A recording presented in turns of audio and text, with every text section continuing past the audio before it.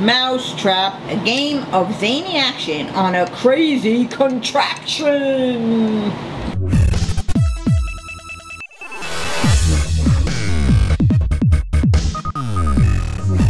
Rock, this is a throwback game, and it's called Mousetrap. What's the ma- And really what you're supposed to do is go around the board with the dice and you collect the parts to create the mouse trap and you put it together. But Nanny put it together and these are cheese. These are little wedges of cheese for the little mice. Turn it, hits the bucket, goes down, goes around. Hey! Did it work? Yeah. It did work. All right, here, let's see if it works.